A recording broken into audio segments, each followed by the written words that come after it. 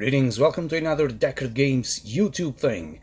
Just a couple of days back while watching Jungle Cruise, a new uh, Disney movie with a guy who thinks he's a rock and Emily Blunt, I was having constant flashbacks to the good and old days of DOS gaming and, to be more precise, adventure games in the Amazon forest.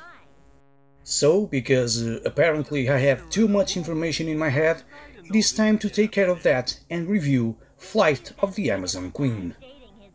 Developed by Interactive Binary Illusions and published by Renegade Software in 1995 for MS-DOS PCs. So, nope, this isn't a LucasArts or Sierra adventure game. You know, it's one of the others.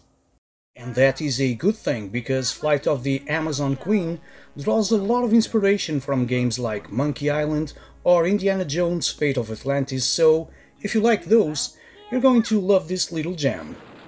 It is sort of a combination between the two and contains many of the same elements and much of the same kind of humor.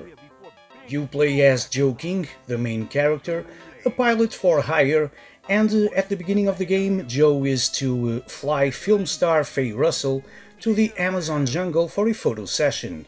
But his arch rival Hans Henderson, aka the Flying Dutchman, has other plans to it. Your first task as Joe is to escape from the hotel where you have been locked in a room by Hans. Then it's on to the airport to keep your uh, appointment with Faye. Soon I will rule the skies. Hey, you can't do that. I just did. Now try and get out of this one, King. See you later. I've got a plane to catch. Having done that, you discover that uh, it is not all smooth flying. Lightning causes your plane to crash in the jungle and you must set out to find help. Almost immediately you learn that uh, Princess Azura, leader of the race of the Amazons, has been kidnapped and that the sinister organization known as Floda is behind it. Cutscenes give you an insight into the evil machinations of Floda and the mad genius Dr. Frank Ironstein, who wants to build an army of dinosaur people to conquer the world, because uh, that's what you do. You called for me, Dr. Ironstein? Yes. I want you to witness the testing of my Dino Ray. With it, I can turn humans into dinosaur people. Watch as I demonstrate.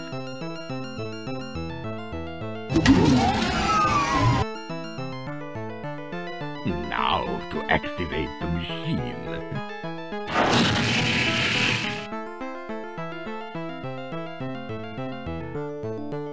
Amazing. She transformed into a monster before my very eyes. Oh, and by the way, to do that, Dr. Ironstein needs Amazon natives. That's his plan. Don't ask questions. The game has a good, rounded and quirky plot that follows well to the classic three-act structure. I wasn't bored with the quest at any point from a narrative point of view, which, let me tell you, is a good thing, because uh, this is a long, and I mean long, third-person point-and-click game with easy-to-use icons for action, a small inventory, and a quite brilliant map. The adventure begins for the player at the beginning, which is in a magician's dressing room in an hotel in Rio de Janeiro with Joe ready to follow your orders. Only problem is the door is locked and uh, it's a long way down through the window. This is a very good puzzle to start the game with and the uh, one room beginning scenario helps to get players acquainted with the controls and to some uh, extent the sense of humor this game has. Flight of the Amazon Queen sees such useful devices as uh, parody breasts added to your inventory for a puzzle somewhere in the game. Thankfully the tasks required of your brain are always rewarding and there are some tricky moments to be found.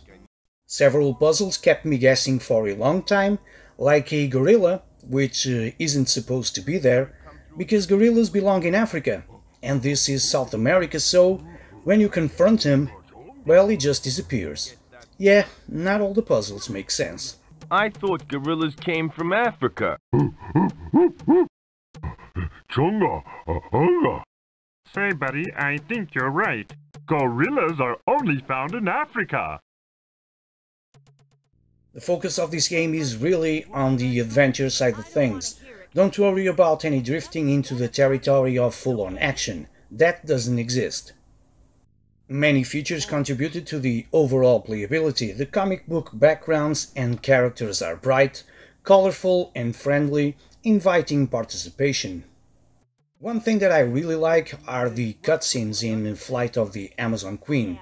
Fitting in with the uh, fairly fluid development of the plot, they drive the story forward rather than being redundant showpieces. The diction of the voice actors was very clear overall. This was one of the few games where I didn't need to use the on-screen text option to follow what was being said, but I was nevertheless pleased to note that uh, it was still available if required. Mechanic and a stuck-up, half-witted, scruffy-looking bush pilot Who's scruffy looking? Just quit the gabbing and get me out of here, okay? It's a uh, adequate performance all round, some heavy on uh, cliches like the Mad Doctor, I guess Germans, but uh, overall neither impressive or poor enough to make you reach for the mute button on your speakers. As for the soundtrack, mild is the kindest word I can use to describe what stumbles along in the background, all the tunes start in a uh, okay mode, let's call it that, but then they go into this um, hypnotic, buzzing mode that doesn't sound like music anymore. It's sharp. That should do the trick. It would make a great boat, but I need some sort of paddle. In a similar fashion are the game controls. They are arranged in the classic adventure style, a row of icons such as push, pull and talk to.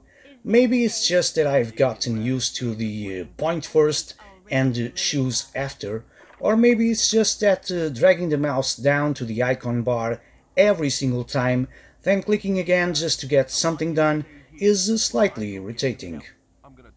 I would like to have the option to double click to jump to a location rather than watching Joe King, every each time, slowly move from spot to spot.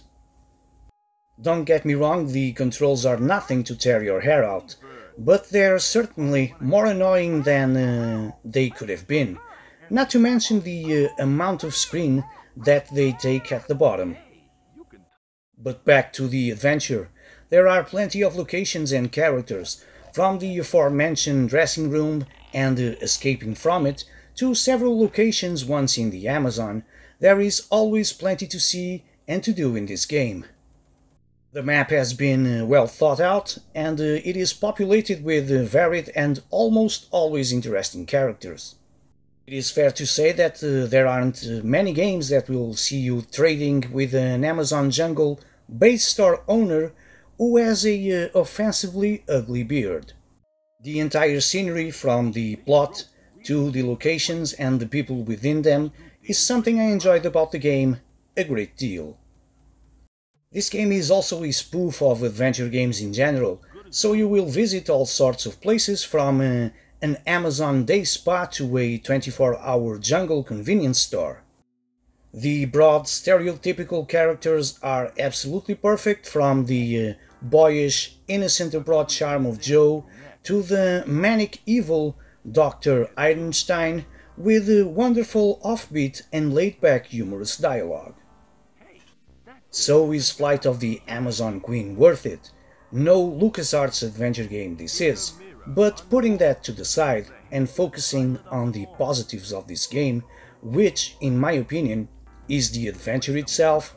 The answer is yes.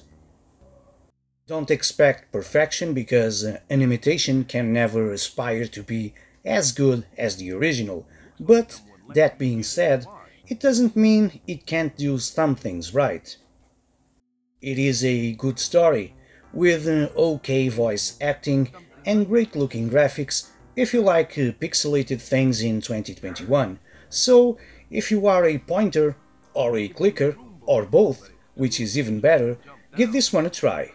And guess what? It is free since 2004, so uh, just go to GOG, download it, and enjoy another DOS classic.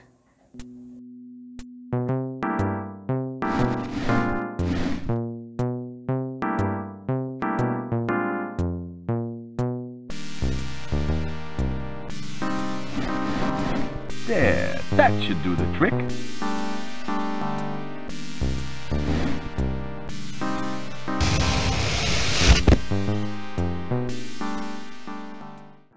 While speaking of enjoyment, if you enjoyed this video leave it a thumbs up and don't forget to subscribe to the channel because your support is very much appreciated.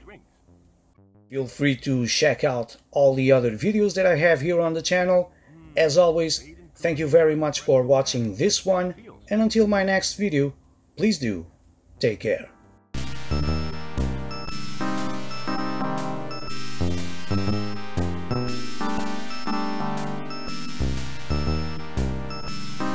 Hurry, Sparky. We gotta get to the airport.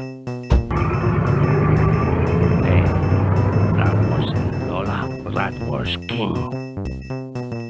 Let's get him!